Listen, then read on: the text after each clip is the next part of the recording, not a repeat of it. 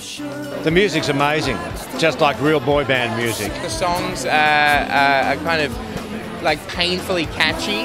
Like I don't really want to be walking along the street uh, humming "Special Time of the Month."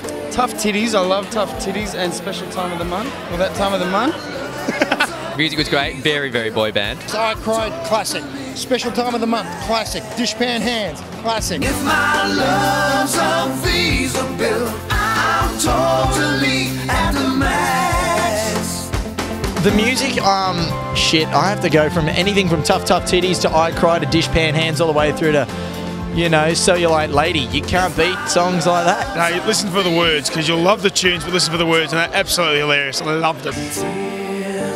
I Cry, obviously Tears, Waterfall Movement. 40 year old men trying to, you know, nail those moves is, is hard work. I did like Gleany's quieter moments. I felt that felt really good, but didn't, but it was good. I like the Frankenstein. Um, definitely the pendulum. Definitely harder than it looks, actually. Yeah, way harder. I think Boy Town do a way better. Yeah. The pendulum. I'm going out to practice it right now, as a matter of fact. Uh, what's it? The pendulum? Can't do it. Mick Malloy though, amazing. The uh, To survive.